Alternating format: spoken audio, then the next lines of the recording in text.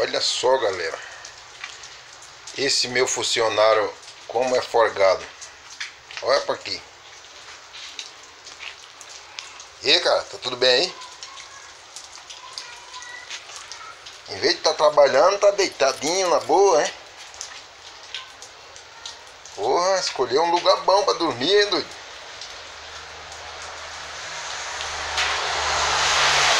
Vamos trabalhar, doido, em vez de estar tá aí deitado, hein? Olha aí o serviço aí, cara. O máquina tem a vontade para consertar é você deitado.